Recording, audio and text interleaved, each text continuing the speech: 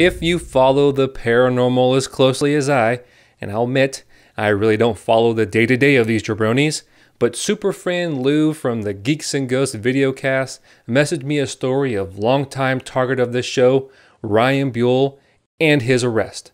Mugshot shown here. This guy is one year younger than me, and boy, life has not been good to him. Ryan and his show, Paranormal State, was the inspiration for my show, so I guess I owe him a thank you. Ryan had a warrant out for his arrest and faces two felony charges related to theft and stolen property and was also charged with a misdemeanor of theft of services. He was arrested in Florence County, South Carolina. Why those charges?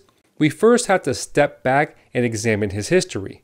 I reported some time ago that Ryan had pancreatic cancer and had asked for money to help pay for his medical bills. Well, that turns out not to be true. His mother had this to say. His mother said, quote, He's ill, but not from cancer. His family knows the real story. You all need to stop believing his lies and stop enabling him. Please. End quote. As far back as 2012, Ryan had planned shows across the country, but canceled them all due to his cancer.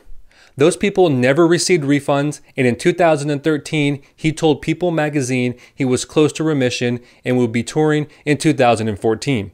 The tour was called Conversations with the Dead Tour, and our boy, Chip Coffey, which isn't his real name, was scheduled to be on that tour as well. Chip said Ryan and his team were in charge of the tour and nothing was booked, but tickets had been sold. Chip said this about the money involved. Chip said, quote, I know that the last accounting I had with regards to ticket sales for the Conversation with the Dead tour was in excess of $80,000. End quote. That is a lot of money, and most of it, if not all of it, hasn't been refunded. Ryan has also sold merchandise, but has never delivered the goods. His latest scam was selling private phone calls for $100 a pop on Twitch and even charging people to watch him on Twitch. Thanks to Lou for that little bit of information. You want to know the sad thing?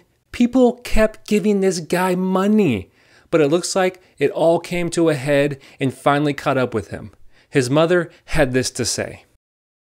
His mother said, quote, So, as his mother, I beg you all, if you are a true fan, please stop enabling his situation by sending money buying tickets to events that may never occur, buying merchandise, phone calls you may never get, paying money to watch him on Twitch, and giving him offers of shelter. If you truly want to help him, you truly have his best interest at heart, this is how you help. End quote. I hope he is punished appropriately for his crimes. He has to be held accountable for his actions, and he may need additional mental health. Is any of his story true? Did he really see a demon as a child? Or was it all one elaborate con to make money at the expense of other people's gullibility? I know which way I'm leaning. How about you? This is why I do this show, and this is why it's important to me to speak out because of guys like Ryan, out to make a quick buck. That is why I won't stop doing my show. And if you think the work I do is important, please think about becoming a member at patreon.com slash PSA. And unlike Ryan, I actually deliver on my promises.